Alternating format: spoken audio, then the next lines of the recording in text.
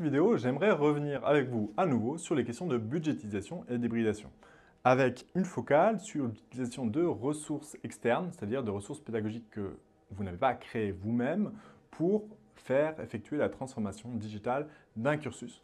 Je vais revenir sur un cas d'étude qui est le Bachelor euh, Data Science, qui est un bachelor euh, en français, une licence euh, en anglais, lancé par CYCRJ Paris Université, donc l'institution dans laquelle je travaillais.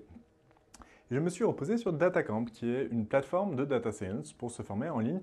Il s'avère que quand on est enseignant dans le supérieur, c'est 100% gratuit comme c'est écrit ici, c'est-à-dire que tous les six mois, on renouvelle notre abonnement et on n'a pas à débourser un euro pour aller envoyer nos étudiants euh, suivre différents cours s'ils le souhaitent.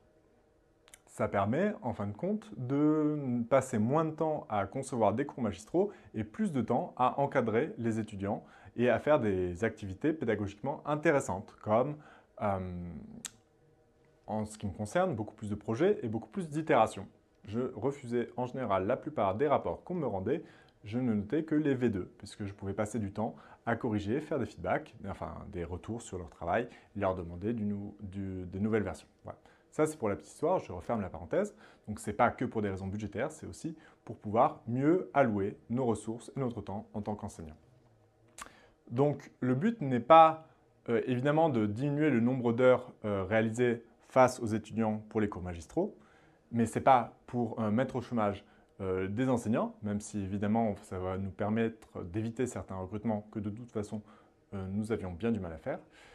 Et c'est également pour gagner sur le plan pédagogique. Mais finalement, plus on diminue le nombre d'heures passées par rapport face aux étudiants pour une UE donnée, plus en tant qu'enseignant, on peut couvrir des unités d'enseignement nombreuses. Donc c'est un petit peu ça la logique de gain de productivité qu'on avait derrière cette transformation digitale. Je vous donne un budget réel qui était euh, ce qu'on avait calculé à partir euh, des, coûts en fait, de la formation. C'est un bachelor en, 4 ans. Là, en l'occurrence, je vous présente que les trois premières années. PIB 1, 2, 3, ça, donc 1, 2, 3, ça correspond à première année, deuxième année, troisième année de licence. On voit le nombre d'heures étudiées par les apprenants qui diminue simplement parce que le nombre de mois passés en stage augmente. Donc, mécaniquement, euh, le nombre d'heures passées en cours diminue. Donc un petit peu l'esprit. Et en fait, les heures facturées, par facturées, j'entends facturées par les enseignants. Donc par exemple en bleu, vu que c'est euh, à l'époque moi qui assurais l'essentiel des heures de cette année facturées par mois euh, sur mon service d'enseignement, finalement il y a un décrochage. C'est-à-dire qu'avec une, une stratégie de digitalisation, on pouvait avoir beaucoup moins d'heures facturées que d'heures où les apprenants passaient à étudier. Pourquoi? Parce que simplement, toutes les heures qui passent chez eux sur leur plateforme DataCamp à regarder des vidéos, bah, je ne vais pas les facturer en tant qu'enseignant. Je ne vais pas être payé à ce que des apprenants apprennent chez eux sur DataCamp.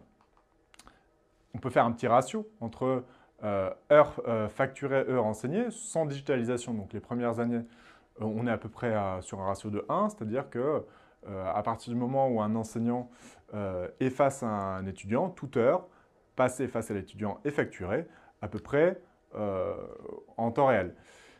On ne peut pas aller dans ces logiques, dans une logique d'hybridation. On ne va pas, comme je vous le disais, facturer des heures que les étudiants passent à apprendre chez eux. Donc, en fin de compte, ce ratio chute. Les apprenants, les étudiants continuent à, apprendre, mais on ne va pas les facturer.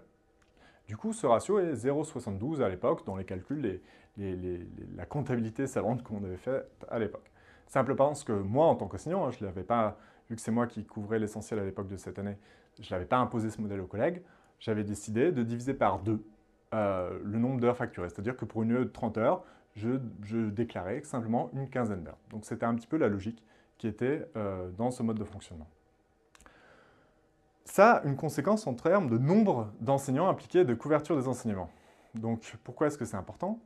Parce que c'est très dur finalement euh, d'avoir, de recruter des gens spécialistes d'un sujet donné. Surtout en data science où finalement euh, les, spécialistes du domaine vont souvent euh, soit faire du consulting, soit dans l'industrie. Donc on a une forte tension sur les ressources humaines. Euh, et finalement, pourquoi? Ce qui est intéressant derrière la, avec ces plateformes, c'est que finalement, en tant qu'enseignant, on peut se permettre de prendre le risque d'aller courir des sujets sur lesquels on a assez peu d'expérience. Je vais vous montrer en fait ce que ça peut donner.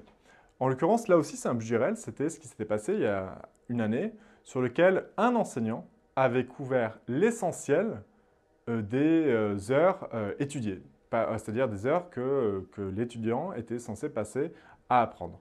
Donc, en l'occurrence, la grosse proportion bleue, c'était moi, et j'avais quelques collègues qui prenaient des UE de gestion de projet, enfin, autour de projets avec les étudiants.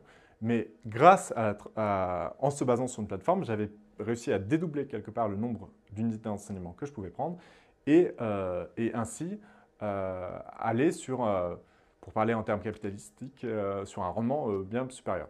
Donc l'idée n'était à nouveau pas de faire des économies ou de l'argent sur le dos des étudiants, c'était, avec une équipe réduite, de couvrir le cursus le plus riche possible. Je trouve qu'en finalement, en se basant sur des ressources éducatives euh, externes, sur des plateformes, on a beaucoup plus de flexibilité à l'embauche des étudiants, on est moins dépendant de profils rares, d'avoir une sorte de mouton à sac pattes capable d'enseigner à la fois tel domaine de l'IA, tel domaine de l'analyse de réseaux sociaux, et en plus de deep learning, etc. Et, euh, et en plus, il y a des effets dominos, moins d'enseignants, c'est moins de personnel administratif à recruter pour pouvoir euh, encadrer hein, finalement cette hausse de la masse salariale. Je ne vais pas, j'enfonce une porte ouverte, mais en fin de compte, c'est des économies en cascade en finalement quand on allait dans cette logique de transformation digitale. Alors, euh, si vous voulez un petit peu la philosophie qui est derrière euh, celle-là, c'est celle du maître ignorant. Jacques Rancière, si vous ne connaissez pas, euh, allez regarder un petit peu en ligne ce qu'il en est. L'idée de Rancière, c'était, donc il décrit en fait des, choses qui se sont passées au 19e siècle, hein, l'école panicastique. Donc l'idée était de réussir à enseigner des sujets que l'on ne maîtrisait pas bien. Et donc, ça va complètement à contre-courant de, euh, de, la philosophie, hein, parfois dans l'enseignement supérieur, qui est de euh, on est absolument expert de la discipline qu'on enseigne. Mais en fin de compte, euh, on peut également faire le choix de se positionner en disant sur certains sujets où c'est pas très grave de ne pas être expert, on, va se former. De toute façon, c'est comme ça la plupart du temps quand on prend des UE dans, dans un système universitaire, on va aller se former au sujet qu'on va enseigner on va aller se former euh, sur le tas parce qu'on ne peut pas avoir, quand on doit maîtriser une, couverture de cours très large, on ne peut pas avoir fait de la recherche sur 10 ou 12 sujets différents ou avoir mobilisé 10 ou 12 techniques différentes euh, dans mon cas. Donc l'idée en fait, c'est que si je devais euh, faire au, doigt levé une, proportion en fait des différents cours que, que j'ai suivis, sur la moitié, grâce à cette logique de transformation digitale fondée sur DataCamp, sur la moitié des UE, j'avais une, maîtrise très bonne des techniques. Je l'ai pratiquée au quotidien dans mes recherches ou dans des recherches passées pendant ma thèse. Euh, sur euh, un quart des cours que j'avais pris, j'avais rapidement eu en fait quelques cours pendant mes cursus universitaires. Euh, exemple, l'analyse des séries temporelles, mais j'avais complètement oublié, c'était il y a plus de 10-15 ans. Et sur un autre quart, j'avais simplement un vernis, donc j'avais entendu parler des principaux concepts. J'ai quand même pris le risque de prendre ce cours, puisque de toute façon, euh, il y avait tension sur les recrutements d'enseignants. Donc à un moment, on n'a pas le choix, on, se jette à l'eau.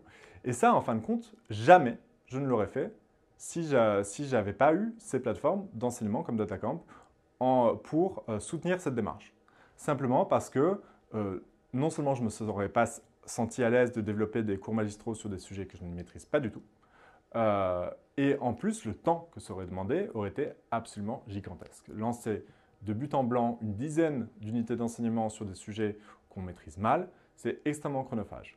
En me reposant sur une plateforme comme DataCamp, finalement, j'ai pu m'économiser tout le temps de, de, création des PowerPoint, des contenus, et simplement avoir à penser à quel type d'activité euh, pour être intéressante pédagogiquement pour que les apprenants et euh, les étudiants en l'occurrence aient, euh, les connaissances, les compétences recherchées à la fin de la formation. Donc ça, c'est finalement une prise de risque qui nécessite quand même un petit peu un changement de perspective par rapport au fonctionnement habituel de ce qu'on peut apprendre enfin, attendre d'un enseignant. Et ce qui, est, ce qui, est, intéressant aussi, c'est que sur le plan personnel, hein, ce n'est pas qu'une question de rendement, etc., c'est extrêmement intéressant de pouvoir se permettre de prendre le risque de, euh, s'atteler en fait à des sujets qu'on connaît mal, puisque finalement, en tant qu'enseignant-chercheur, on est aussi d'éternels apprenants. Et je trouve que c'est extrêmement intéressant en termes de curiosité de pouvoir aller dans cette direction.